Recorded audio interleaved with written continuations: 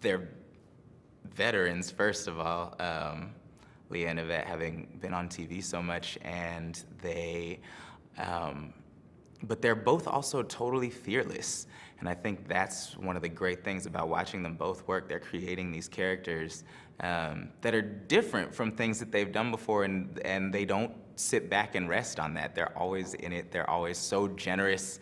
Um, sometimes you get worried meeting, you know, more experienced actors on set that maybe they're, you know, they're not going to be as generous um, in scenes, particularly with newcomers. Learning how to work on TV is a there's a learning curve, and um, it really helps when you have people who have done it who are who are generous as actors on set with you, and they both for sure are. I'm a Gleek. Like I'm a I'm a huge fan of Glee. So when I when Lea first got attached to the project, I was like, oh I'm gonna I'm gonna like embarrass myself. I'm gonna look silly in front of this this woman who I've kind of like watched because like Glee came on right when I was like about to leave high school. I was like right in the middle. And I was like, yes, I'm a theater kid, like choir boy, like let's do it. And I was singing all the songs. And Yvette is, if, if TK is sort of like the heart of his friend group, Yvette is the heart of this cast.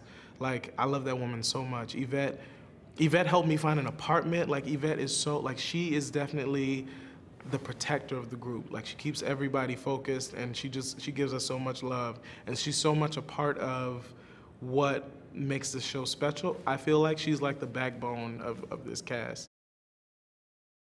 In terms of Yvette, I feel like her sort of um, compulsion to get out a positive message about her community, about the community in general, and make sure that um, you know diversity is is honored and women are honored in a way, and that that voice is true and consistent and and honest. I think she's she's a real. Um, a real champion of that. So I think that that's what we're seeing, and that's what we will see.